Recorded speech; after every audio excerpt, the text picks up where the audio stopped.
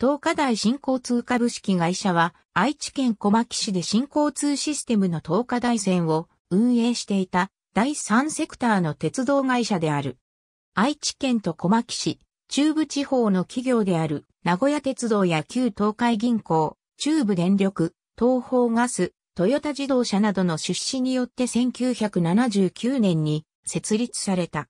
本社所在地は愛知県小牧市光が丘6丁目43番地。2006年10月1日に東華大線を廃止。同年11月17日に会社解散を決定。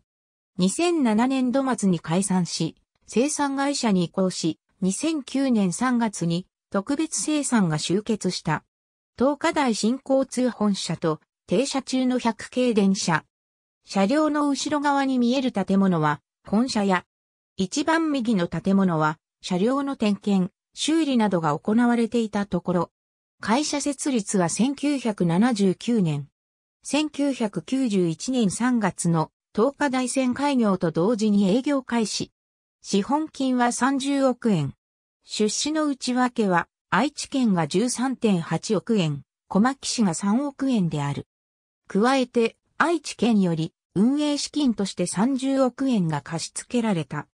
会社は2003年3月31日の決算において61億円の繰越損失、31億円の債務超過状態となり、2006年9月には運営資金が底をつく見通しとなった。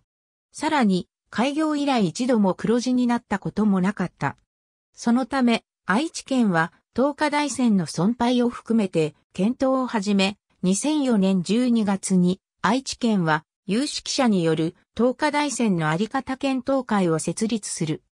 検討会の提言により、愛知万博の愛、地球白線で採用された自給動式無機乗交通システムに切り替えることを検討したが、同会の試算よりコストが高くつくことなどから、この案は頓挫してしまった。また、その後の調査で赤字解消が困難なことや東華大ニュータウンの人口が減少する可能性などもあることから、道路線は2006年3月28日に廃止が決定する。